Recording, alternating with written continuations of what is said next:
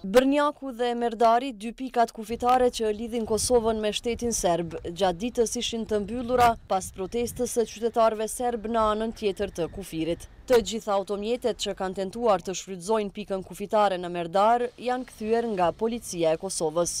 Për protestat e serbëve ka folur të shtunën edhe presidentja Vjosa Osmani, e cila tha se prapa barrikadave qëndron shteti serb. Këto bllokada të cilat janë krijuar kohëve të fundit, të cilat në mënyrë të veçantë kanë tentuar të terrorizojnë qytetarët shqiptarë, të cilët donin të shfrytëzonin këto pika kufitare,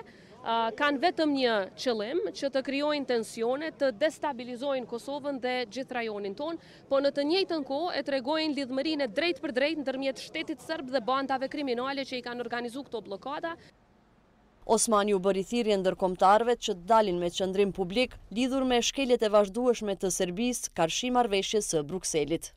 Jemi në kontakt të vazhdueshëm me aleatët tanë në mënyrë që t'i bëhet presion Serbisë për organizime të tilla të cilat janë, siç e thashë, shkelje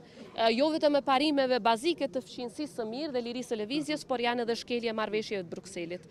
Për mbylljen e pikës kufitare në Bërnjak reagoi edhe ministrja e Jashtme Donika Gërvalla, e cila tha se kjo pikë do të qëndrojë e mbyllur, derisa të largohen personat e maskuar dhe të kthehet lëvizja e lirë. Në orët e pasdites, ministri i Punëve të Brendshme, Xhelal Sveçla, ka njoftuar se pikat kufitare janë hapur, pasi bllokadat në pikat kufitare janë hequr nga serbët.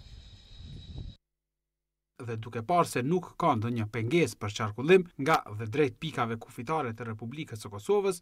morëm vendimin për hapjen për qarkullim të pikave kufitare Merdar dhe Bërnjak, rend dhe ligj, paqe e siguri, cep më cep e në çdo kufi të Republikës sonë.